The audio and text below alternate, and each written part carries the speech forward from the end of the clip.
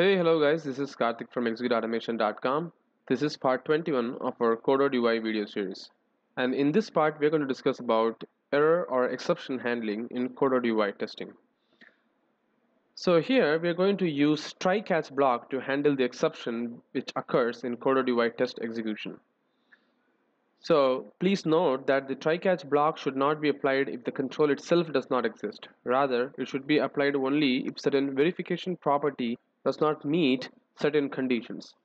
Since adding try-catch block to the control itself will make the unexpected behavior of your test.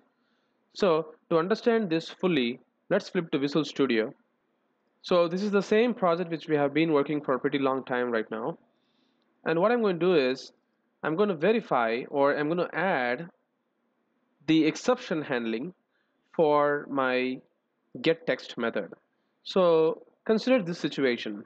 What if the username that you have entered here for the property of get text has changed from username to usernames, right? So your test will throw an exception here and the further operations whichever you think it should behave will not be performed so to demonstrate that what I'm going to do is I'm going to change the property name of username to usernames I'm going to save it right here. And let me just try to run this test. So for that I'm going to test explorer and I'm going to hit run selected test. So it's just the verification of the text is not available. So it's throwing an exception here. But we expect further operation to happen because it's just the verification of the operation has got failed. But the whole test itself has got failed in our case so this is not what we are expecting. At that point we expect somehow this exception has to be handled. So what kind of exception is being thrown by Microsoft? It is Microsoft.visualstudio.testingtools.uitest.extension.ui control not found exception. So this is the exception which has been thrown to our test. So what I'm going to do is we can handle this using a try catch block in the get text method which we wrote in the part 20 of this video series. So what I can do is let's try to add a try catch block. So I'm going to add try and then I'm going to add catch of UI test control not found exception. So you can see there is a exception class right here. And then I'm going to give a variable for this.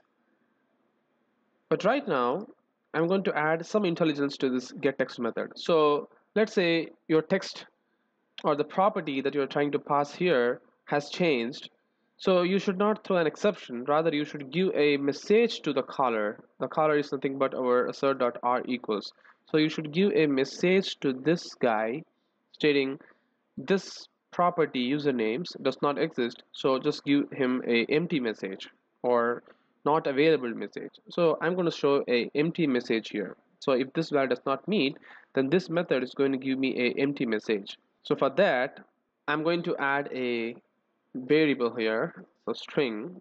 Let's call this as result. So I'm going to return the or let's do like this. Result is equal to this and then return the result alright so whatever value I get here I'm just going to assign it to a variable result and then I'm going to get I'm going to return this result right? And if this does not exist then again return empty right? That's it. So you can do this way for your test right but still your assert.r equals will fail because if this property does not exist then this property is going to throw you an error right? So let's demonstrate that. So what I'm going to do is I'm going to close this thing and then I'm going to hit run selector test right now. And you can see the test is again going to fail right so now it seems like we're getting a different error here. Seems like uh, we're in the same UI test control not found exception. Let me see what mistake that I did in the code. Hmm.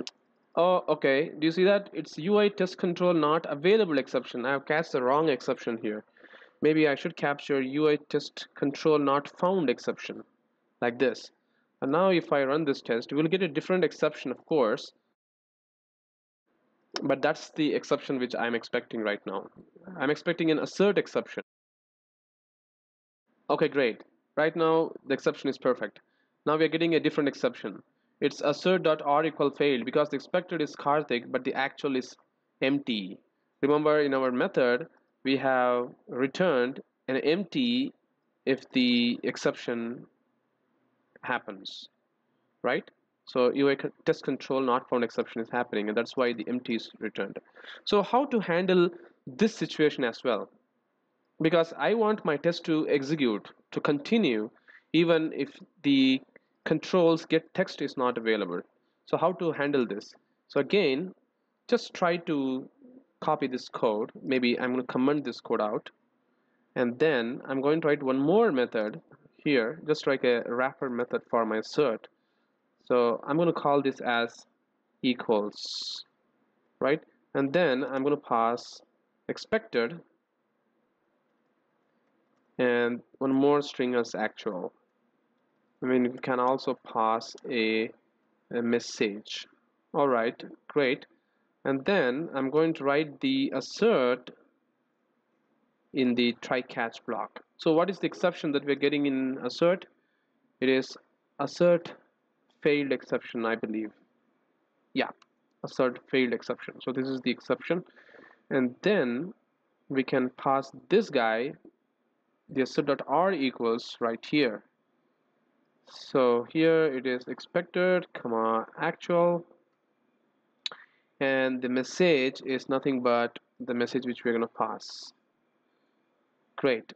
And let's write the message like this. E dot message. Great. So now we have written a wrapper method for our assert.r equals right? So let's call this equals method here. All right. And let's pass the same parameters for this equals. Great so now it performs the same operation the verification operation but it still makes our test to continue rather stopping in the middle. So I'm going to save this and then I'm going to run this test and let's see how things works right now. All right. It performs the click operation as well. You see that? And then it types the initial kk there. Great so now our test still works. If you see the output here you can see there's a failure. Assert.AreEqual failed. So the expected is Karthik but the actual is empty and it gives us a message stating no match of the actual versus expected. So this is what is the expectation of our try catch block. So this is how we can handle the exception. We can hold it somewhere else rather stopping the test in the middle instead of performing some of the important operation right? So this is how you can do a exception handling with our try catch block in coded UI test. So this is the difference between assert and the try catch block. So assert if it fails it will throw you an error in the middle and the test will not continue further. So if you use try catch block your test will still fail but your test will not stop in the middle. Rather it continues and the exception you can see once the test is fully complete. Right? That's the difference between assert and try catch block. That's it guys. Thank you very much for watching this video and have a great day